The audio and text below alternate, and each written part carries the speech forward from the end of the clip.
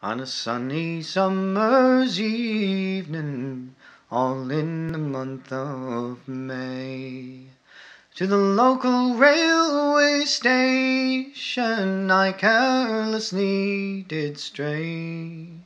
I saw a widow wailing, down her cheeks the tears did flow. Her only daughter was going away far, far from sweet Mayo. My curse on you, oppressors, that sent you to a foreign shore. No more you'll travel the green old sod outside the cabin door. 'Twas English laws have been the cause of all our grief and woe. For tyrants true do now much rule the people of Mayo.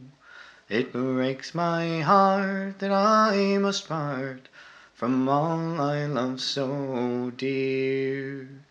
My comrades all, both great and small, o'er the ocean I must steer.